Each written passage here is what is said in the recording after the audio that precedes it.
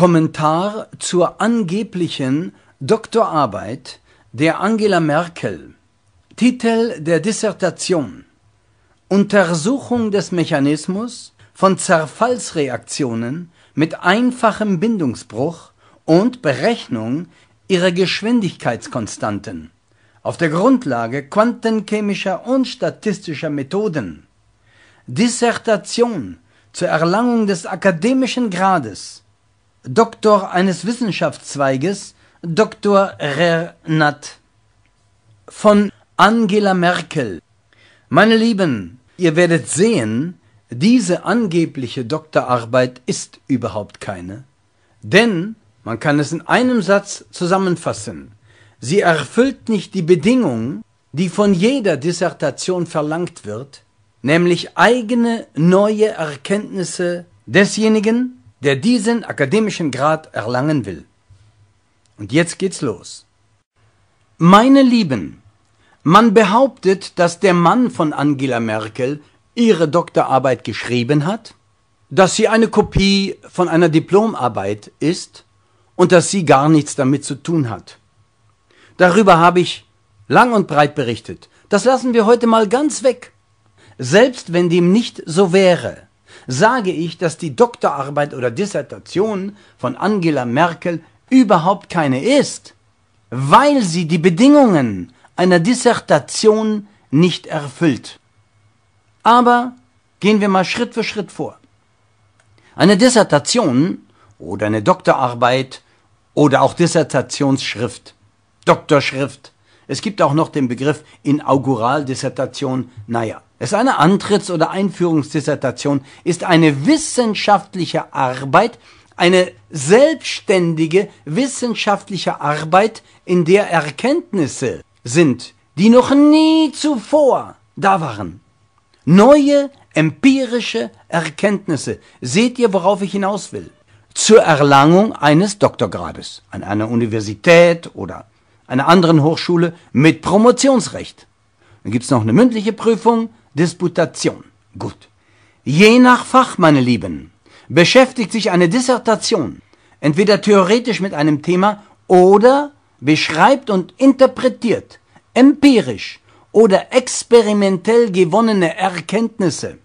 Und selbst wenn ich die experimentell nicht gewonnen habe, ich muss auch rein theoretisch neue Erkenntnisse in die Dissertation einbringen, die muss eigentlich hauptsächlich daraus bestehen, damit sie überhaupt anerkannt wird. Und nun wollen wir einmal sehen, meine Lieben, ob diese angebliche Doktorarbeit von Angela Merkel, die von ihrem Mann geschrieben worden sein soll, gut, lassen wir das alles weg, ob das eine wirkliche Dissertation ist. Ich sage nein und ich beantrage, dass Angela Merkel der Doktortitel aberkannt wird. Also in medias res. Vorausschicken möchte ich, dass in dieser 153 Seiten langen Dissertation von Angela Merkel 145 Quellenangaben sind. Ich sage, diese Dissertation besteht aus den wiedergekauten, wiederholten, abgeschriebenen Themen eben dieser 145 Dissertationen. Das heißt, da ist nichts Neues von Angela Merkel drin. Und wenn diese Frau am Schluss schreibt, der Dissertation, ich versichere, die vorliegende Arbeit selbstständig verfasst und keine anderen als die angegebenen Hilfsmittel benutzt zu haben, Berlin, April 1985, Angela Merkel, dann ist das ein Aprilscherz, denn es stimmt in der Tat. Sie hat diese Arbeit selbst verfasst, ja, sie hat sie hingeschrieben. Sie hat selber alles abgeschrieben. Ob sie das war oder ihr Mann, lassen wir dahingestellt und dass keine anderen als die angegebenen Hilfsmittel benutzt werden, ja, diese Hilfsmittel waren die Quellen. 145. Und sie hat nichts anderes getan, als die in diesen Quellen behaupteten oder gelehrten Themen wiederholt.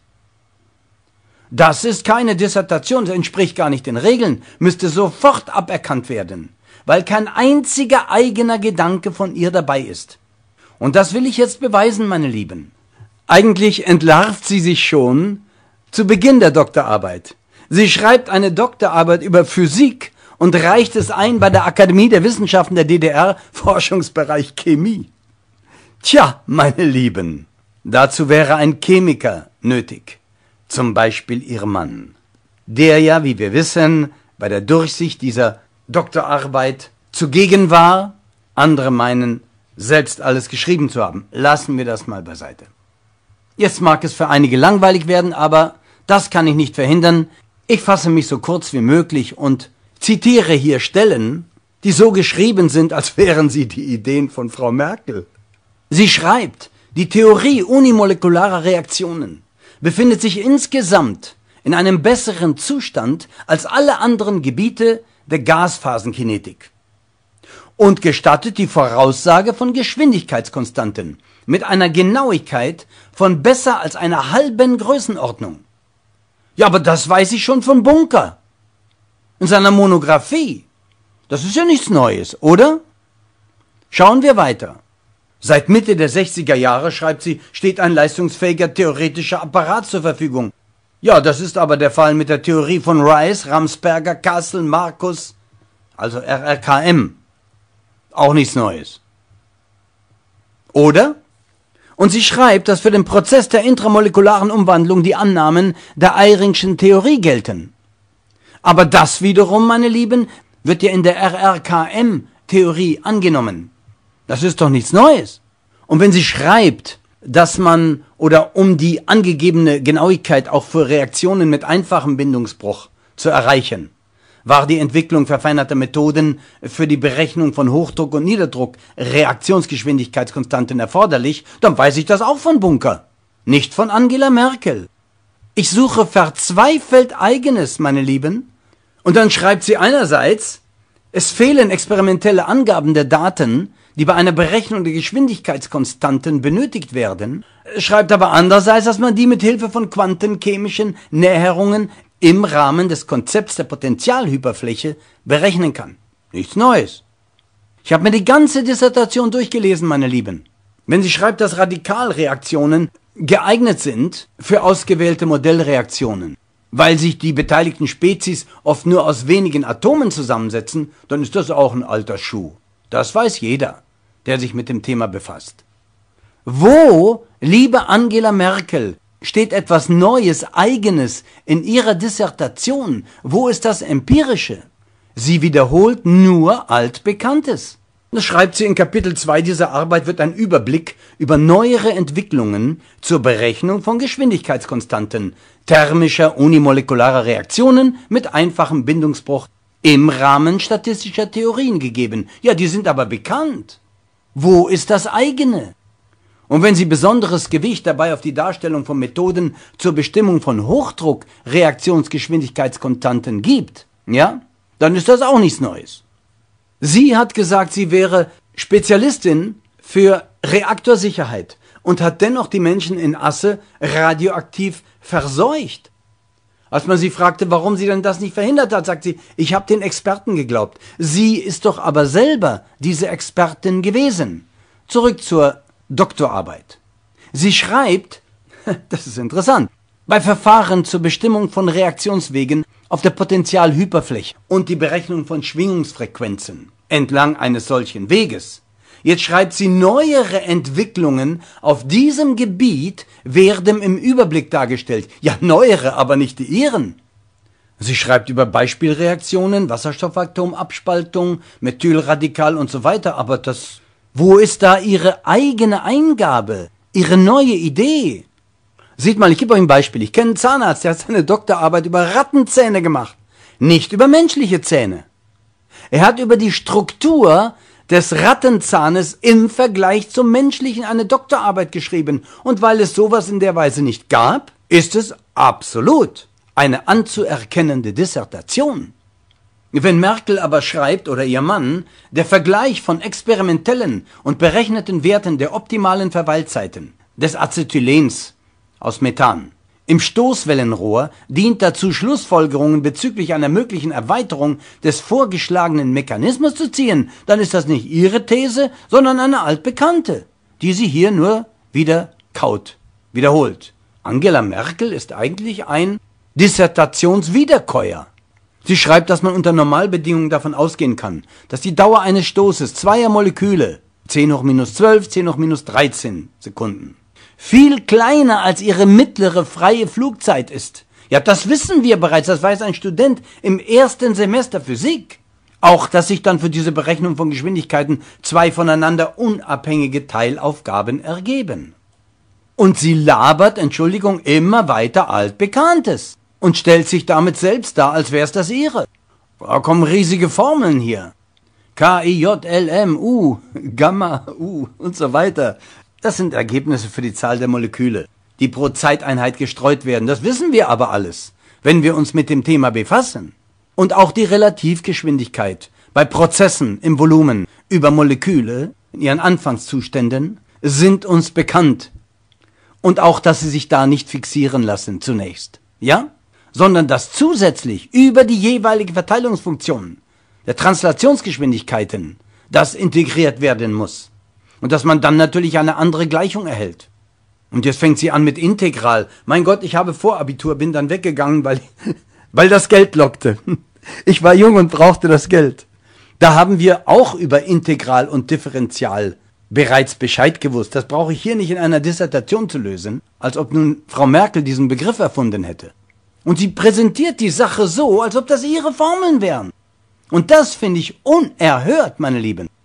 Sie schreibt für den Fall, dass die Anfangszustände I und J nicht fixiert sind, sondern bestimmten Verteilungen XA, XB und so weiter genügen, erhält man für die Bildung von Molekülen der Sorte C pro Zeiteinheit. Aber das weiß ich bereits, Angela.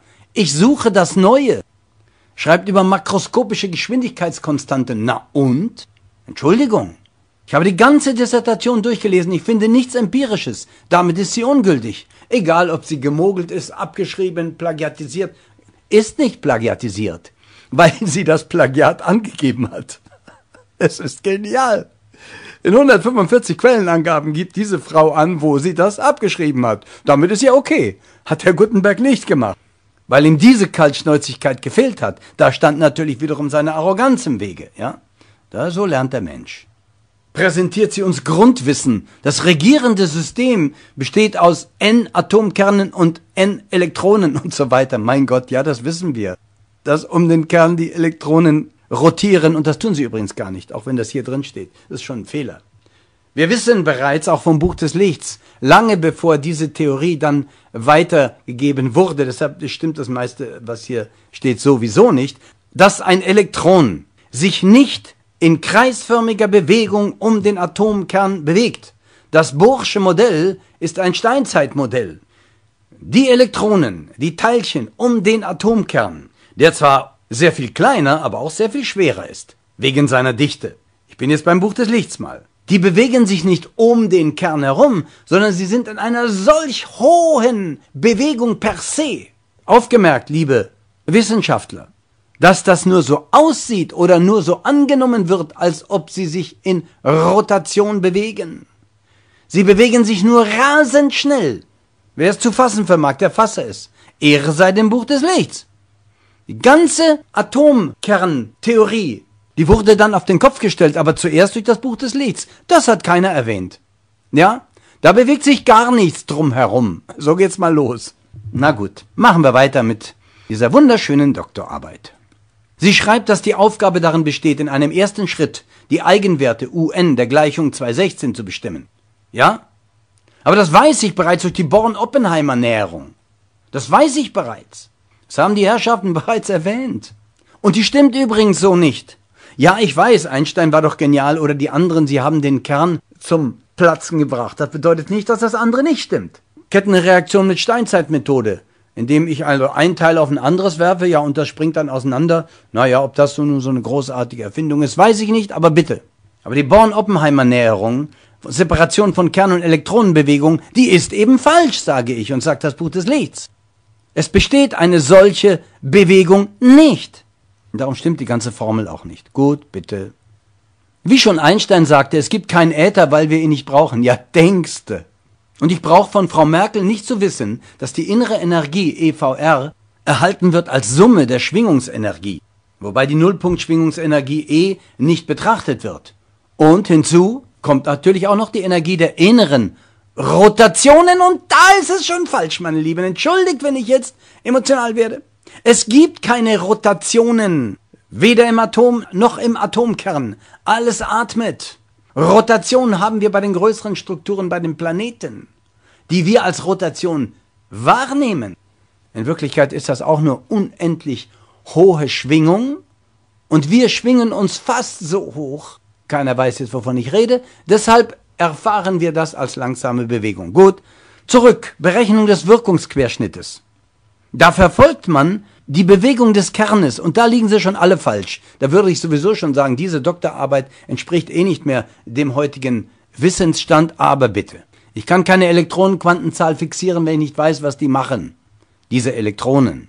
Und ich kann auch keinen Übergangszustand erklären, hier in Teil 213 der Dissertation von Frau Merkel steht die Theorie des Übergangszustandes. Wie kann ich den Übergangszustand feststellen, wenn ich den Grundzustand nicht kenne? Eben, dass die Elektronen sich nicht kreisförmig um den Kern bewegen und dass Niels Bohr Unrecht hat. So. Und sie bringt hier die Eyringsche Theorie, die dann eben auch nicht stimmt. Tut mir leid. Aber das macht nichts, das werfe ich der Frau nicht vor. Ich werfe ihr nur vor, dass sie bisher nichts eigenes zum Besten gegeben hat. Bringt großartige Formeln, ja, die sind aber nicht von dir, Angie. Entschuldigung. KT gleich KTB durch H gleich äh, Q trans 3, Q rot 3, QVR 3N7 durch QR trans Q3 rot, QVR 3N A6, A trans äh, Q rot 3, äh, QVR 3N B minus 6 B. Und dann haben wir Q rot Beitrag der Rotationsenergie und da geht's schon los, da kann es nicht stimmen, weil da nichts rotiert, so wie beschrieben in dem Atommodell. Ich, äh, meine Lieben, ich zitiere ja nur hier, weil verzweifelt auf der Suche nach eigenem. Ich finde nichts. Ich finde altbekanntes Zeugs.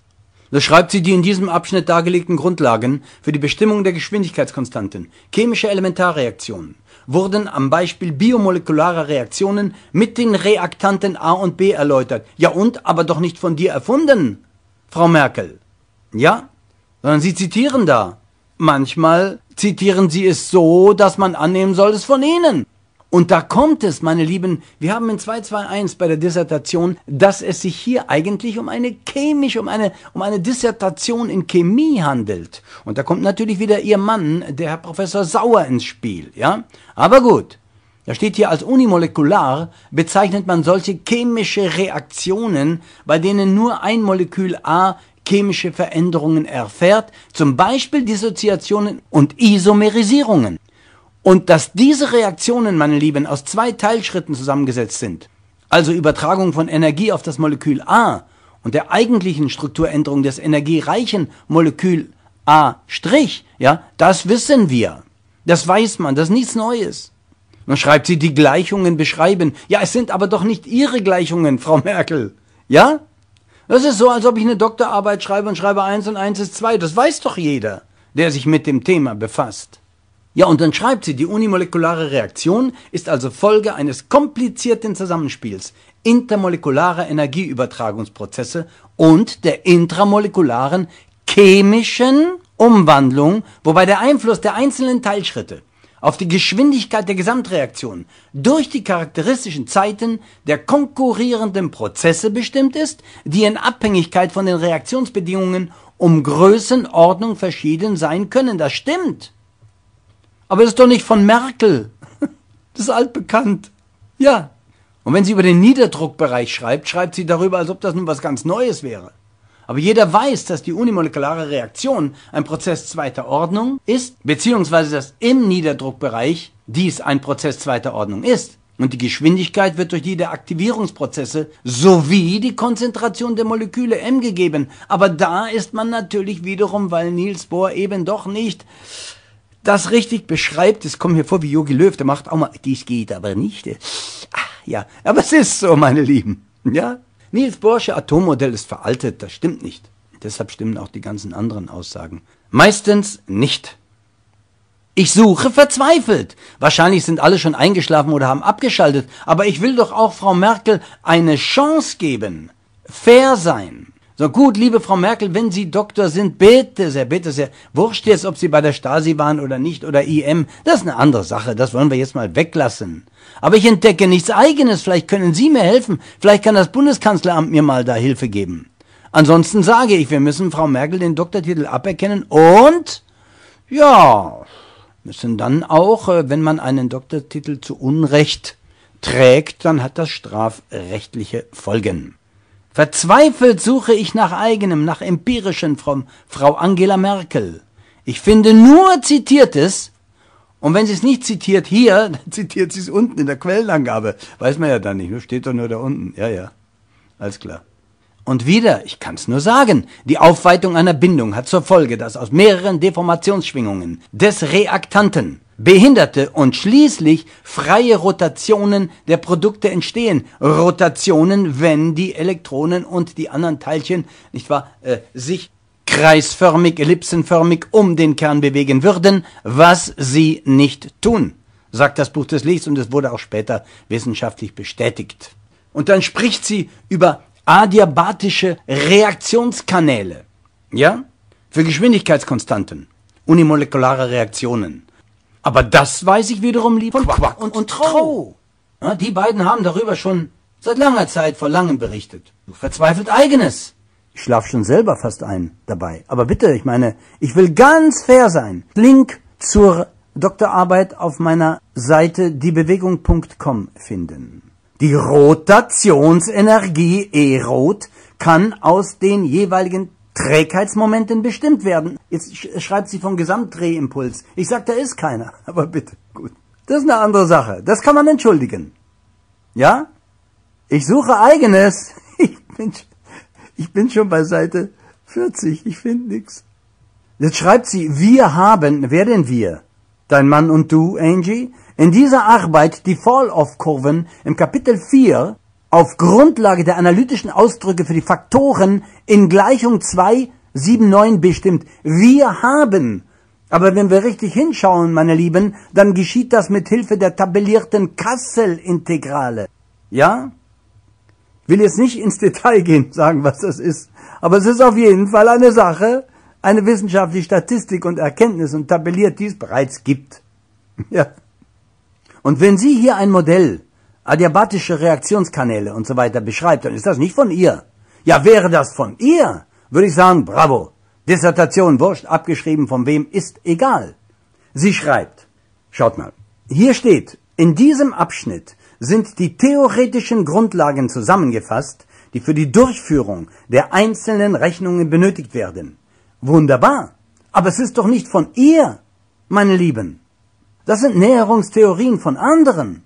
Und wenn sie da schreibt, quantentechnische Berechnung von Potentialhyperflächen, ist das was ganz Wunderbares und klingt auch sehr gelehrt. Nur ist es nicht von ihr. Und wenn sie Näherungen erläutert, sind das nicht ihre Näherungen. Wer von euch hat schon von Schrödingers Katze gehört? Ich habe mal darüber berichtet, auch im Buch des Lichts. Naja. Jetzt will sie also hier die Schrödinger-Gleichung lösen, ja? Tut sie aber nicht. Schrödinger zu verstehen, da bedarf es eines Genies. Ja? Das mal vorausgesetzt. Und dann schreibt sie, von welchen Funktionen was abhängt. Ja, aber nicht so, als ob sie es erfunden hätte, sondern das ist bekannt dass Funktionen von den Koordinaten R1 und dem Spin abhängen, eines I-10-Elektrons und so weiter und so weiter, ja, Spin-Orbitale. Aber diese Orbitale, nebenbei gesagt, und ich kann es nur immer wieder wiederholen, die gibt es eben nicht so. Weil die Elektronen sich nicht orbital um den Kern bewegen. Ja, ja. Und da hilft auch nichts die Erwähnung des Hamilton-Operators. Also, naja. Dann erzählt sie uns von einer Antisymmetrie der Gesamtwellenfunktion bezüglich der Vertauschung zweier Elektronen. Das aber, meine Lieben, ist das Pauli-Prinzip. Ja, das ist bekannt. Und unter anderem der Hartree-Fock-Ansatz, nebenbei gesagt, handelt von genährten Wellenfunktionen. Ja? Und für den Erwartungswert, also des Hamilton-Operators und die Energie, die einen hohen Wert liefert, kann man sich um optimale Spinorbitale im Rahmen des Hartree-Fock-Ansatzes zu erhalten, dieses Variationsprinzips bedienen, das stimmt, aber das ist doch nicht ihrs. Sie zitiert die Zitate. Sie zitiert die Quellen. Das ist kaltschneuzig. Die ganze Dissertation besteht genau aus den Quellen, die sie unten angegeben hat, und die kann sie dann sagen, ja, das habe ich eigenständig gemacht. Bravo! They fuck with your brain. Und wenn sie mir hier was erzählen will, von Einteilchenoperatoren für kinetische und potenzielle Energie der Elektronen, ja, dann weiß ich das bereits von Monsieur Coulomb. Wechselwirkung.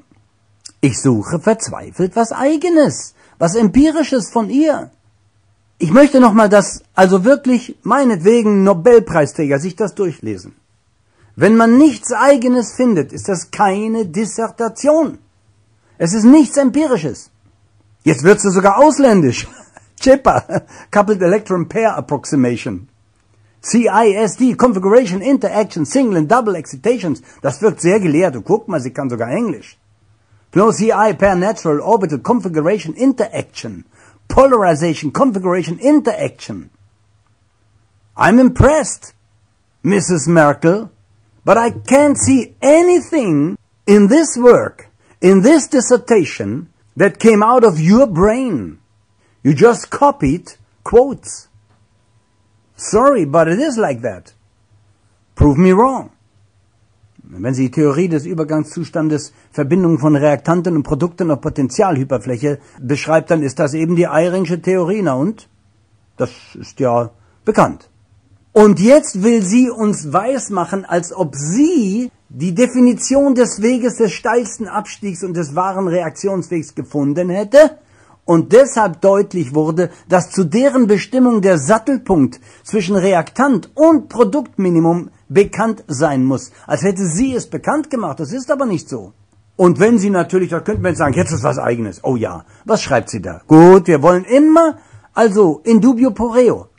Sie sagt, damit ist bereits klar, dass die klassische Verfahrensweise Reaktionswege ausgehend vom Minimum durch Änderung eines Strukturparameters zu bestimmen, im Allgemeinen keine Wege minimaler Energie liefert. Ja gut, und? Ist das was Neues? Wenn ich sage, da geht's nicht lang zum Kaufmann. Oder jemand fragt mich, wo ist hier der Alexanderplatz? Ja, ich sag, also da links geht's nicht lang. Gut. wo ist er? Und sie beschreibt Verfahren, meine Lieben, die von anderen längst entwickelt wurden. Zum Beispiel ein Verfahren, das den Reaktionsweg ausgehend vom Reaktantminimum bestimmt. Und dass dieses Verfahren voraussetzt, dass dieser in Richtung einer Normalkoordinate des Reaktanten verläuft und versagt, sobald der Reaktionsweg gekrümmt ist. Aber das weiß nicht Frau Merkel oder hat es erkannt, das wissen wir vom Pantier oder Pensier oder wie man will. Ja? Oder und wenn der Reaktionsweg für eine Reaktion ohne Sattelpunkt bestimmt wurde, dann weiß ich das wiederum von Rai und Trollhaar. Sie schreibt nur, was ist nicht was sie selber erkannt hat und was sie selber weiß oder entdeckt hat. Keine Eigenleistung. Diese Doktorarbeit ist keine, sie muss aberkannt werden, meine Lieben. Also ich suche und suche und suche. Wahrscheinlich sind jetzt nur noch zwei, drei Leute hier, die zuhören. Es gibt nichts. Es gibt nichts, was diese Frau oder wer immer diese Doktorarbeit geschrieben hat, selbst für sich erkannt hat. Ja? Nichts. Und ich muss es mal so radikal sagen, das ist alles abgekupfertes von Zimmermann, Ondruschka, Spangenberg, Gardiner, Roth, Just, Klotz, Drost, Tönnies, Kaufmann, Hobart, Howard, Bunker, Robinson, Holbrook, Claston, Leitler, Quack, Quack, also oft Quack, Quack und Bunker, den hat sie oft, von dem hat sie oft abgeschrieben. Benson, Zylicke, Czarski, Urban, Bürger, Kondratjew, O'Malley, Lindemann, Tro Wagner, Forst, Waage, Rabinowitsch, Petschkas, Miller, Markus, Eliason, Hirschfelder. Ja, den haben wir im Buch des Lichts auch, aber nur um ihn zu widerlegen. Hase, Pearson, Mies, Weenie, nein, nicht der, Fußballer. Sutcliffe, ach ja.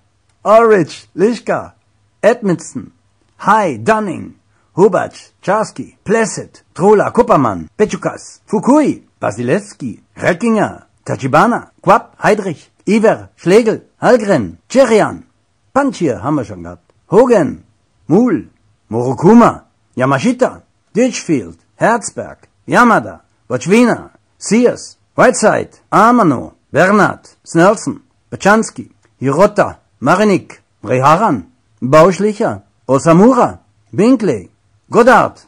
Oh, da steht sogar A. Merkel. ja, was denn? 121. Berechnung von Hochdruckgeschwindigkeitskonstanten für Zerfall und Rekombinationsreaktionen einfacher Kohlenwasserstoffmoleküle und Radikale. Na schauen wir uns das mal an, das von ihr sein soll. Sie zitiert sich da einmal von 145 Mal selber. Na, da bin ich mal gespannt. Also so geht's weiter, weiter, weiter bis runter zu 145. Da haben wir noch Rot, da haben wir... So, jetzt, jetzt haben wir... Naja, da will ich mal sehen. Mein lieber Mann. Na, da will ich mal sehen. 140. Da zitiert sie sich nochmal selbst. Und 145 dann Tschurwitsch. Also gut, also gut. In medias res, in dubio pro reo. Frau Merkel behauptet bei 140 und bei 121, dass da was von ihr wäre. Nur wollen wir nachschauen. Nur wollen wir nachschauen. Man bedenke diese Chutzpe und Unverschämtheit, meine Lieben. In ihrer eigenen angeblichen Doktorarbeit bringt diese Frau sich als Quelle an. Sie zitiert sich selbst als Quelle unter 121 A. Merkel, natürlich dahinter gleich I. Bürger, H. J. Spangenberg und Züllicke, Berechnung von Hochdruckgeschwindigkeitskonstanten für Zerfalls- und Rekombinationsreaktionen einfacher Kohlenwasserstoffmoleküle und Radikale zur physischen Chemie Leipzig 1982. Aber genau diese Arbeit ist nicht zu finden, meine Lieben. Wo ist sie denn? Also hier in dieser Dissertation, die hat einen ganz anderen Titel. Diese Quellenangabe 121 hat den Titel Berechnung von Hochdruckgeschwindigkeitskonstanten für Zerfalls- und Rekombinationsreaktionen einfacher Kohlenwasserstoffmoleküle und Radikale. Wo ist diese Arbeit, auf die sich Frau Merkel bezieht, die angeblich unter anderem von ihr sein soll? Der Titel der Doktorarbeit ist eine andere. Untersuchung des Mechanismus von Zerfallsreaktionen mit einfachem Bindungsbruch und Berechnung ihrer Geschwindigkeitskonstanten auf der Grundlage quantenchemischer und statistischer Methoden. Die unten in der Quelle angegebene Arbeit ist nicht aufzufinden. Wo ist sie? ich kann mich doch nicht selber zitieren und kann dann gar nicht mal die Arbeit angeben. Da kann ich ja irgendetwas schreiben. Jetzt gehen wir mal weiter. Das nächste, was sie angibt, was angeblich von ihr ist. Quellenangabe 140. A. Merkel, L. Zülicke. Berechnung von Geschwindigkeitskonstanten für den CH-Bindungsbruch in Methylradikal. Wo ist die Quelle? Ich finde keine Angaben dazu. Das heißt, sie zitiert etwas, was es gar nicht gibt. Beziehungsweise was, wenn man reinschauen würde, gar nicht von ihr ist. Kein Nachweis. Ja? Sie bringt sich selbst als Quellenangabe ein in ihre eigene Doktorarbeit? Da müsste sie selber auch was gemacht haben, selber erfunden und geschrieben haben. Das ist aus dieser Dissertation nicht erkennbar.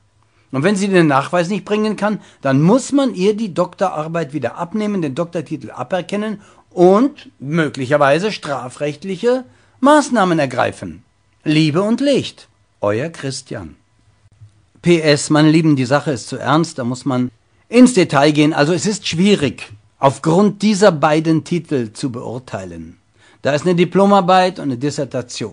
Diese Quellenangaben von einer, von einer angeblichen Merkel-Arbeit, die können wir nicht bestätigen. So. Und das behandelt ja auch relativ unterschiedliche Themen. Sind beide im Bereich Quantenchemie, theoretische Chemie angesiedelt. Nun könnte man sagen, in der Diplomarbeit, die ja von Herrn Sauer ist, geht es um Reaktionen, bei denen aus zwei Reaktanten ein Produkt entsteht. Klingt schon sehr ähnlich. In der Dissertation wird aus einem Molekül zwei durch Zerfall. Das kann aber auch nur ein Produkt sein. Ich sehe in der Dissertation nichts außer theoretische Grundlagen, referiert sehr breit den damaligen Stand der Wissenschaft, der heute auch nicht mehr richtig ist, aber das ist egal. Ich sehe nichts eigenes. Ein Resümee, sieben Seiten, zusammenfassende Thesen und da ist keine wissenschaftliche Eigenarbeit auf den ersten Blick zu erkennen und auch nicht auf den zweiten. Es ist also eher, es ist nicht mal semi-empirisch. Denn Semi-Empirik, könnte man sagen, ist ein Teilgebiet der Quantenchemie.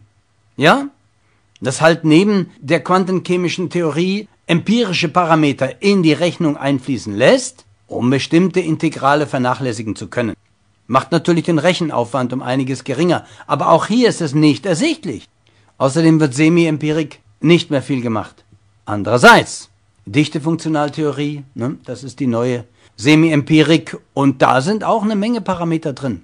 Zu der Zeit, als Angela Merkel angeblich diese Dissertation gemacht hat, war wohl Empirik gar nicht angefragt. Nun ja, also mit dem Dr. Joachim Sauer ist sie ja verheiratet seit 1998. Danksagung kann man entnehmen, dass Sauer damals 85, 86 die kritische Durchsicht von Merkels Dissertation übernommen hat. Da brauchen wir nichts kritisch durchsehen. Das sind ja altbekannte Sachen, die da drin stehen. Ich vermute, dass Joachim Sauer diese ganze Sache geschrieben hat, denn eine Angela Merkel nicht mal abschreiben könnte sie solche Fachbegriffe. Und ob hier allerdings wissenschaftlicher Fortschritt oder eine mögliche Linientreue zum Staatssystem der DDR zum Erwerb der Promotion dieses Abgeschriebenen also geführt hat, das überlasse ich dem Hörer dieses Vortrages. Und den hat sie ja sehr nett bedacht, den Herrn Dr. Sauer, nicht wahr? Also gut, da könnte man fast sagen, on y soit qui mal pense. Tatsache ist, dass Merkel mit ihrer Familie und allen persönlichen Kontakten tief verwurzelt in einem krassen Stasi-Umfeld war. Ja? Die Akte ist weg, wie auch das Foto, das sie mit ihr unterstellten FDJ-Lern vor Robert Havemanns Haus zeigt, dessen Hausarrest sie dort persönlich überwacht hat. Nicht? Die hat Zugang zu den Akten gehabt und sie persönlich weggeschafft, das ist klar. Die arbeitet ja auch mit dem Gauk zusammen und das ist ja nicht der Heilige, der uns hier vorgeführt wird, sondern ein scheinheiliger Stasi-Religionist, sage ich. Ich spreche Angela Merkel jegliche fachliche Qualitäten ab, sei es für eine Dissertation oder jetzt hier als Kanzlöse. Wir wissen ja, dass dies ja nur äh, Wasserträger der wirklich Mächtigen sind. Frau Merkel ist eine glühende Anhängerin des Kommunismus und meine Lieben, Weltkommunismus ist ja das Ziel der Bilderberger. Lasst euch da nicht täuschen, ja? Die Superkapitalisten wollen Weltkommunismus, versteht ihr das? Das ist die Waffe der Kapitalisten, der Kommunismus. Kaum jemand versteht das. Und dann will ich euch noch was sagen zum Schluss, was Wahlen anbelangt. Zwei Sätze, die mir besonders gefallen. Wenn Wahlen etwas ändern würden, hätte man sie längst abgeschafft. Und den anderen Satz, es spielt keine Rolle, wie gewählt wird. Es kommt darauf an, wer und wie ausgezählt wird. In diesem Sinne, Liebe und Licht, euer Christian. Das ist alles gar.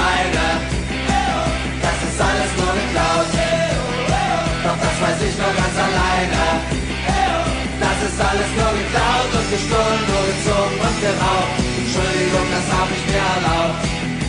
Entschuldigung, das hab ich mir erlaubt.